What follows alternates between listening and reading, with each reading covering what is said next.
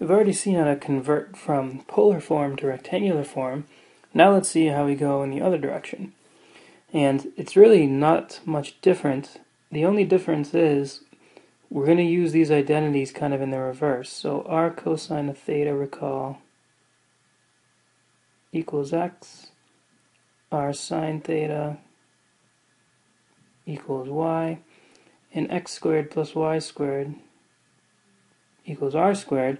Now what we're going to be doing is we're going to try to get, you know, every time we see an x in a rectangular form, we're going to replace it with r cosine theta, and wherever we see a y, we're going to replace it with r sine theta, and if we see x squareds and y squareds added, we're going to replace them with r squareds. Uh, the only catch is we're going to solve for r at the end. We're going to solve for r.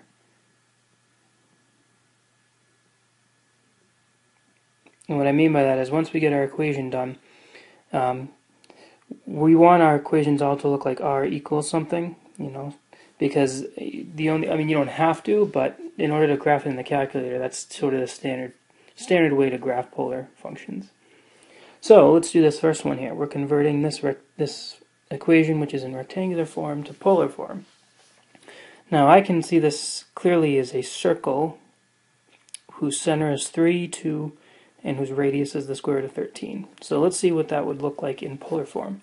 So uh, I clearly need to expand these terms out because that's the only way I'm going to get uh, an x squared plus a y squared. Now you can replace that x with an r, sine, uh, an r cosine theta and that y with an r uh, sine theta, but I'm not going to do that just yet because then, cause then I'd have to square out all those terms with cosines and sines and it's just a little bit frustrating. So uh, I'm going to multiply x minus 3 squared. So I trust you could all do that. That's going to be x squared minus 3x minus 3x plus 9. Okay, that's this. Which is x squared minus 6x plus 9. And y minus 2 squared would be y squared minus 2y minus 2y plus 4, which reduces to y squared minus 4y plus 4, and of course that all equals 13. And so now is when I group my x squareds plus y squareds together. So x squared plus y squared. And what do I have left? I'm going to put my minus 6x next to it. I can do that. And I'll put my minus 4y. Oops.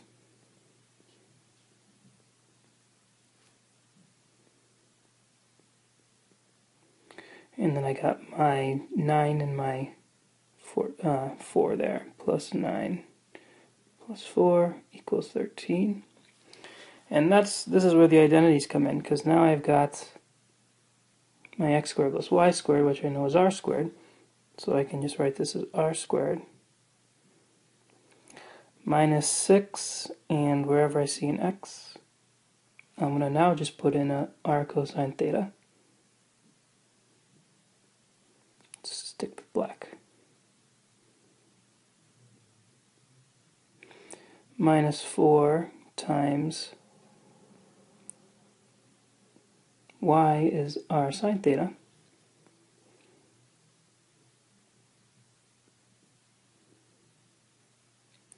And now notice I have a 9 plus a 4, which is a 13.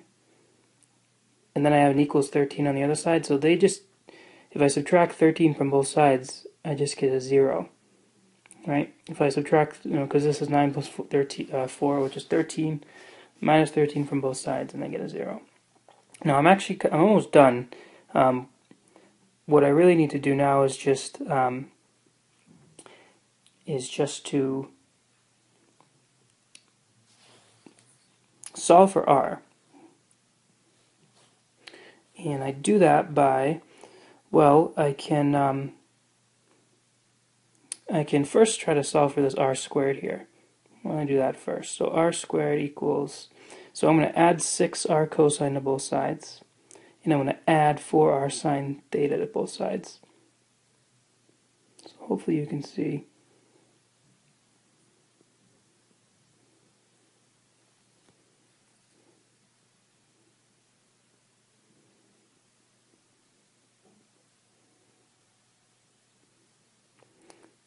That you get this.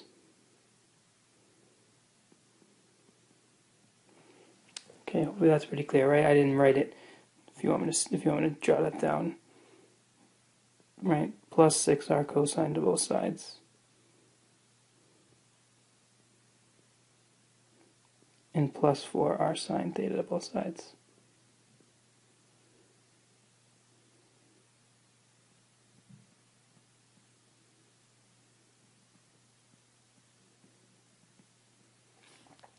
And now I'm almost done, except we, we normally don't leave it with an r squared. We leave it uh, in terms of r. So to get rid of this r squared, you can square root, but you could also just divide by r in this case. Okay, you can just divide by r. That will get rid of these r's, and it will make this left side just have one r.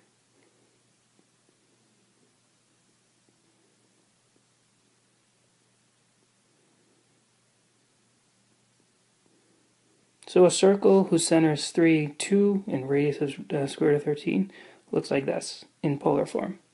Alright, so again, it's kind of this whole game of turning x squareds and r squared, uh, x squareds plus y squareds into r squares, and x's and y's into r cosine thetas and r sine thetas. So let's do, we can do these next two actually much more quickly than we did that one. So I'm going to kind of break it off here. So here's x, x equals 5. So I can replace my x, if I want to turn this into polar form, with my r cosine theta. So I get r cosine theta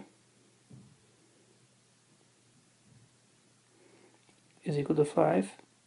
And then I just solve for r by dividing by cosine of theta.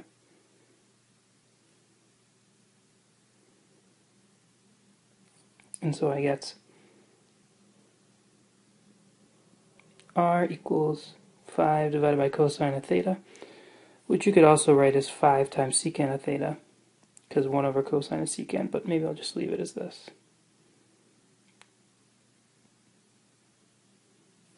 There. So x equals 5, notice that's a vertical line. In polar form, vertical lines have this type of form. And let's do that last one over there. 2xy plus 5y equals 8. In rectangular form, that's a line right? It's just a line. And so what does it what does the equation of a line look like in general in polar form? Well, I'm going to turn that x into an r cosine theta. So this is 2r cosine of theta instead of an x. Plus 5, and rather than a y, I'm going to plug in 5 sine theta, or r sine theta. Equal to 8. And now I just want to solve for r. So the way to do that here, I think, would be to factor an r out. Right, I have an r in both of these terms. I'm just going to factor it out, and I'm left with I'm left with uh, 2 cosine theta plus 5 sine theta equal to 8. And now I'm going to divide both sides by everything except the r.